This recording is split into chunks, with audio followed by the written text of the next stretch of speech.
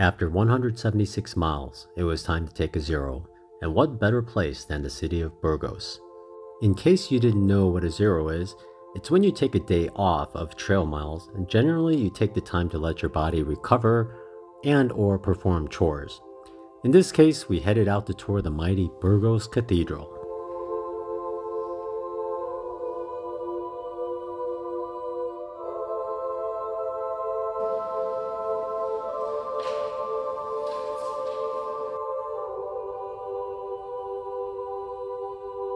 The intricacies of every rib along the ceiling domes, every detail merging architecture and stained glass was awesome. There was just so much detail everywhere, even in all the small chapel rooms. Pilgrims gain entrance for 5 euros and it's completely worth it.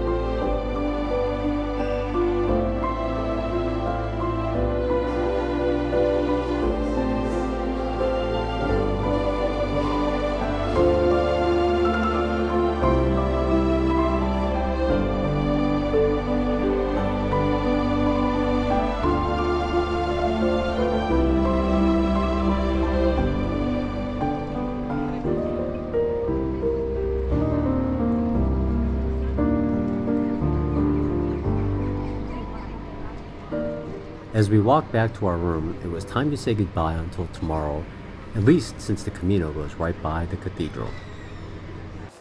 Good morning. It's day 14, I believe. We're leaving Burgos now. The chapel is back there. Uh, a bunch of people, pilgrims went down. It's weird, like our Airbnb. Tina found a nice Airbnb right next to the chapel, and we can see the chapel, and we could see the Camino, so we could see people walking. And all morning, they were just like a surge and a gap, surge gap. And it was a huge gap because it's late. It's like 8.30. It's 8.24, it's late. But as soon as we got on the Camino part itself, like 20 to 30 people that we've never seen before showed up behind and they were walking. But today we're doing 20 miles into Hornillos and uh, next day we're gonna try to go to a place that supposedly serves Korean food for dinner. So we're gonna try to get to there, but let's let's get to walking 20 kilometers.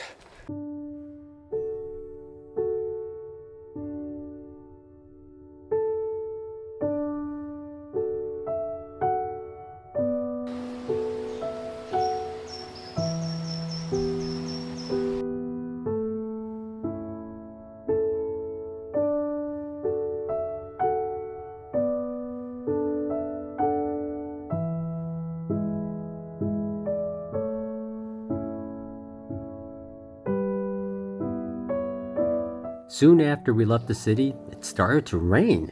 This is our first bout of on trail rain so far. It wasn't too bad.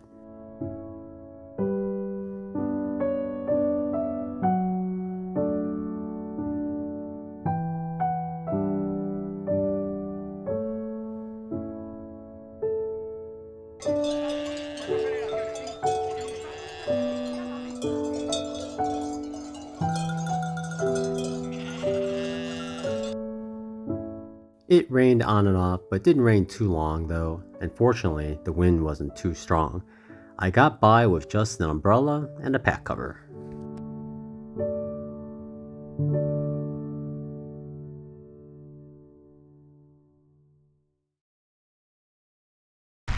We've been pretty lucky so far. We went almost 14 days without rain while we're walking because it's rained in the night or in the late afternoon. But we'll take one day. Not too bad. I'm in t-shirt and shorts.